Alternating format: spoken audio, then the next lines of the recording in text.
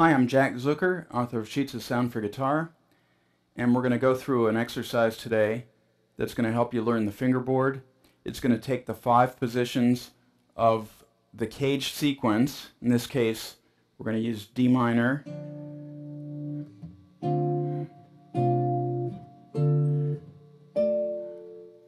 and we're going to base our improvisation on a 2-5-1-6 chord progression, D minor 7, G7, C major 7, A7.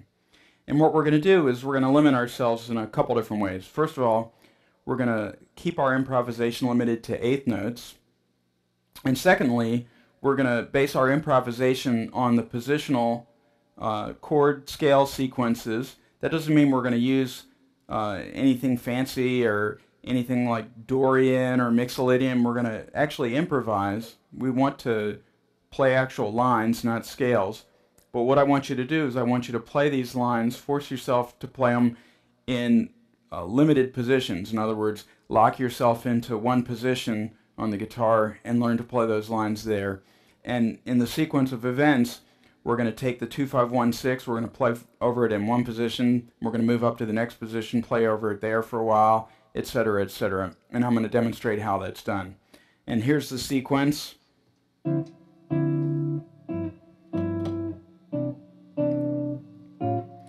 And here we go.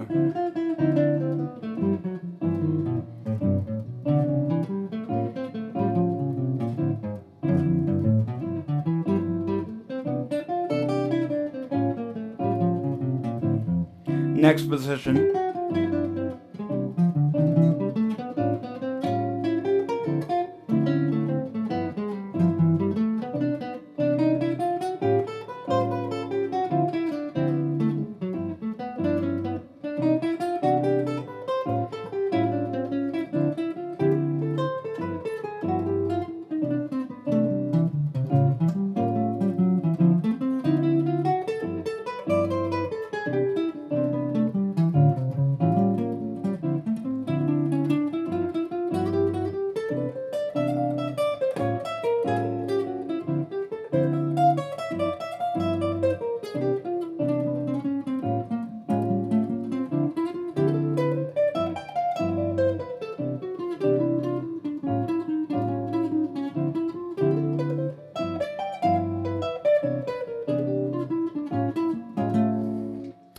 And that's how you do this sequence. Now, you can stay in each position as long as you want. Um, in some positions, you're going to find yourself very uncomfortable because you're probably used to playing everything in the most comfortable position in terms of uh, where you are in the fingerboard. But instead, this is going to force you to learn those places. When you get to a point where you can't play all eighth notes over a particular sequence, slow it down, and it means you don't know the fingerboard very well in that position. Um, now I'm going to take the same chord progression, same sequence, except this time I'm going to change positions every time the chord sequence repeats.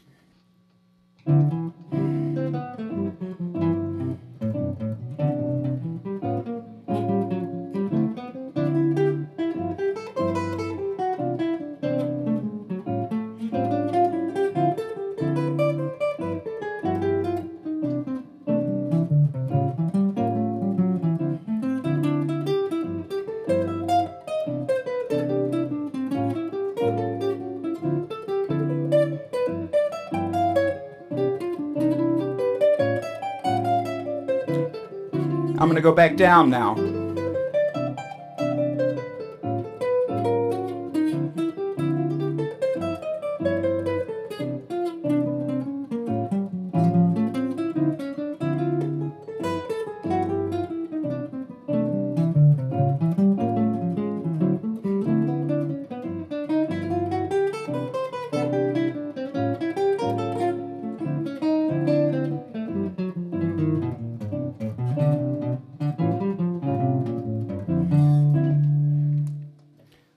So what we did is we sequenced our way up and down the fingerboard.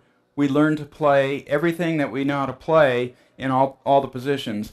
And what you can do with this is take some of the licks that you might know, some of the things that are common like and learn to play them in all the positions. So instead of going learn to play that lick there. And that's the whole purpose of this line. Now, I've done this same sequence over giant steps, countdown, moment's notice, and many very complicated chord progressions. If you take this approach and you practice it rigorously, you'll also be able to play over some very complicated tunes.